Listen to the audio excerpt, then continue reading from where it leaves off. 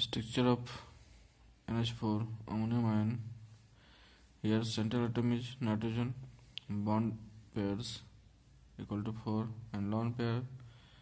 equal to 0 because all electrons are bonded with hydrogen. Valence electron pair equal to bond pair plus lone pair equal to 4 plus 0